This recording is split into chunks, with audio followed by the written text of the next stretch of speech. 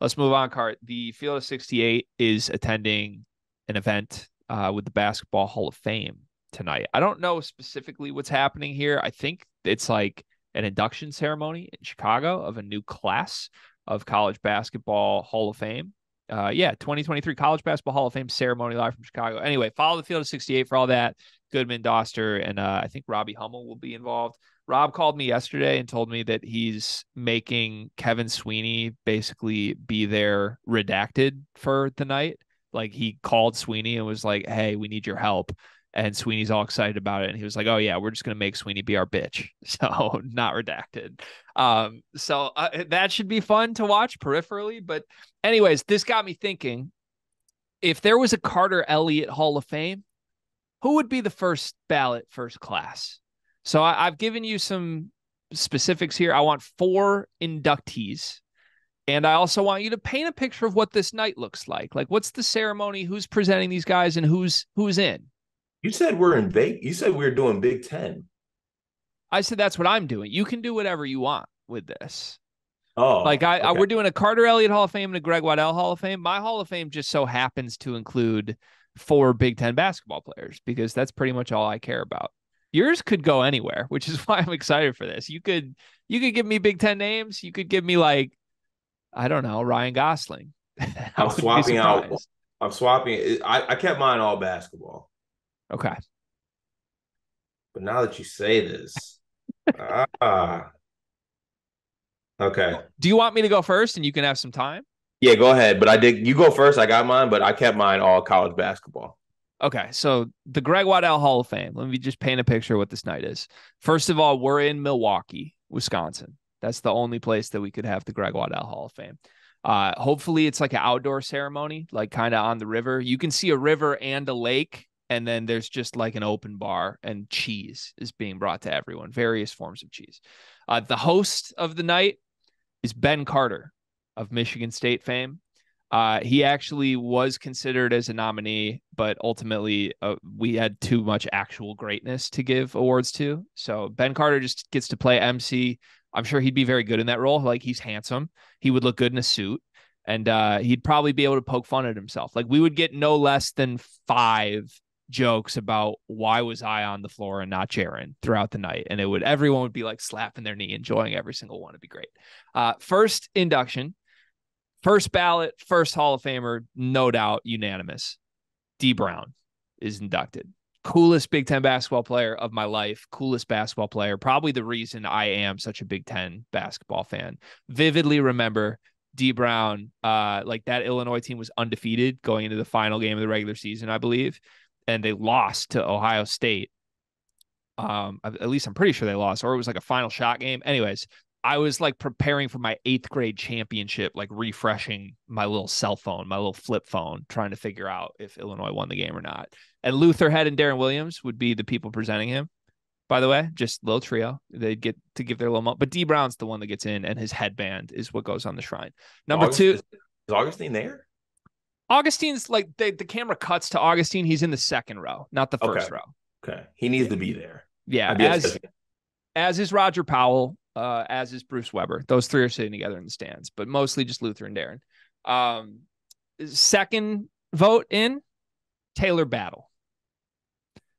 What a legend. Uh, the the Boo Buie feelings I have all apply to Talor Battle, and the best part of this is they're related. And had no idea until like a year into my Boo Buie love. But Talor Battle was the original like must see television. Like I was watching every Penn State game for three years just because of this guy. Boo Buie would present him, by the way, and it would be a nice little like there'd be a family montage with some like old pictures of them, like when they were like eleven and uh like four. It'd be really cute. Your thoughts Okay. on Talor Battle? I, I love I, I love Talor Battle. I love the pick. And it's also good for you because you can work in Budarius into that. Like Exactly. he's presenting, correct? Correct, exactly. That's so great. D Dee Brown, Talor Battle are the first two. The third one, Trey Burke, uh, not negotiable, has to be in the shot. Obviously, that's on replay on the big screen behind him. Jalen Rose is presenting him as well. Thought about Tim Hardaway presenting him, but I don't think Tim Hardaway is good enough on a microphone. Thought about Nick Stauskas presenting him, but different eras. Like those those two weren't a tandem. So it's got to be Jalen Rose. Jalen Rose would do the best job with it. Uh, and yeah, Trey Burke, legend for my money, the best Big Ten basketball player I've seen in my life and the most meaningful to my program. Final one, Cart. This is going to be a little shocking to you. This is a controversial one that they got through in this way. The Murray twins are being inducted together as Keegan and Kris That's, Murray. What's that? That's cheating. The Murray twins have been inducted together, and presenting them uh, is the McCaffery brothers. But then in the middle of the McCaffery brothers presenting them, the McCaffery brothers get surprised with the Sandfort brothers showing up. And it's a big whole brother thing with Family. Iowa basketball. Family. Yes. So that's that. Those are my inductions. First year, Greg Waddell Hall of Fame, Dee Brown, Talor Battle, Trey Burke, Murray twins. Huh. Okay. Like presented like, by Ben Carter. I, I, like all those choices, just so you know. Okay. Well, Let's now take take us to the Carter Elliott Hall of Fame. Paint a picture. Okay. The Carter Elliott Hall of Fame. For anyone who hasn't been there, it's going to take place in Columbus, Ohio. Okay. at a place called Brewdog. It's a it's a brewery outdoor. It's a dog hotel and brewery. It's fire. If you haven't been there, if you saw the outdoor setup, you could see the vision on what my ceremony is going to look like. It's going to be elite. So it's at Brewdog. It's at Brewdog Brewery in Columbus, Ohio. You are actually my presenter. You are the MC for the night. I think you're going to do a great job at it. Oh, yes. wow. Thank I you. I think that is it. First on my list, Carsen Edwards, wrist tape wonders.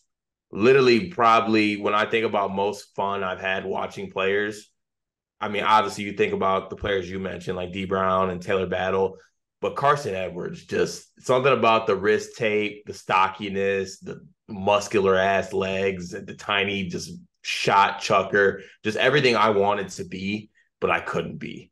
So Carsen Edwards is going to be uh, first on there. He's going to be presented by Trevion Williams because I want Trevion Williams to be there.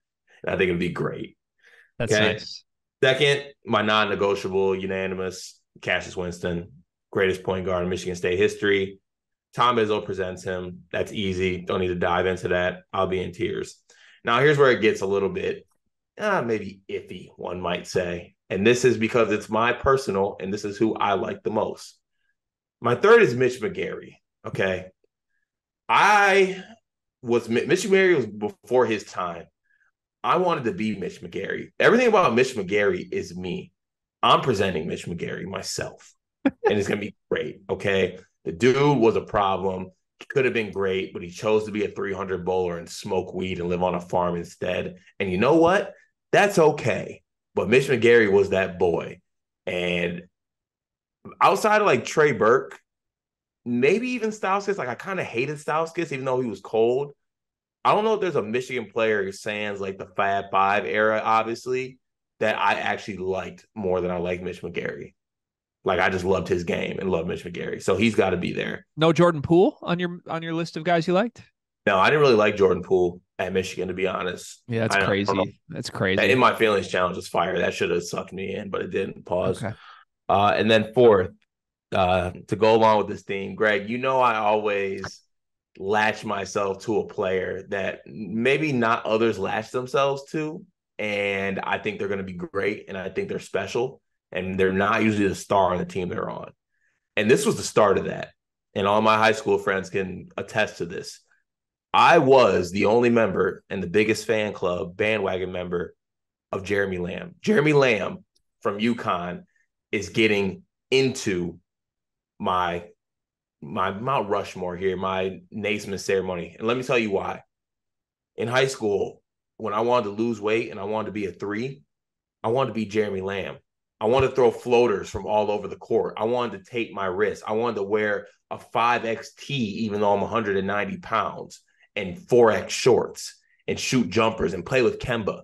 And Calhoun will be presenting him in this ceremony. Jeremy Lamb was my first my first wing that I attached myself to, and you know I love to attach myself to wings in college basketball. Jeremy Lamb started that moment. He started that movement for me. So Jeremy Lamb's my fourth in there. You love wrist tape, is my takeaway from this. Love wrist tape. you love it. I love I love wrist tape until Ricky Doyle did it for Michigan. That ruined wrist tape. That was no, that was double wrist tape. That was insane. I also I I feel like I did disrespect your dog Pierre the other day because Carsen Edwards is the Pierre comp, not the not Pat Bev. Carsen Edwards is the comp. Like and that. uh yeah, I I I'm surprised Brice Sensabaugh didn't make this first ballot. He only played one year.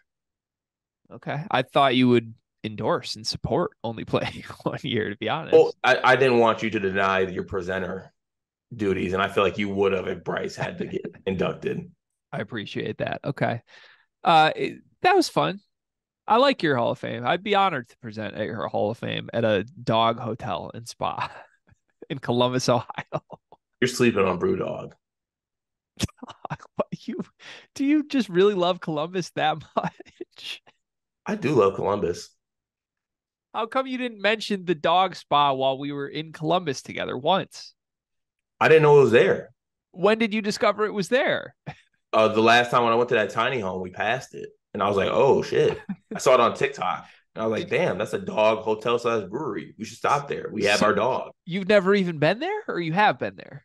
I've been there. Last time I was in uh that tiny home getaway, I went there. I stopped. We stopped there. I thought you were like in the middle of nowhere wilderness in a tiny home. I didn't know you were at a dog spa. Well, to get to that, we passed the brewery. We stopped and got a beer and went to the dog park that's at the brewery, by the way. Okay. Like it's amazing. All right. I'm yeah, I need more info on this. I'm confused. But all right, fun segment. Everybody enjoy the basketball Hall of Fame tonight, uh, especially Kevin Sweeney. Hope he has a great time.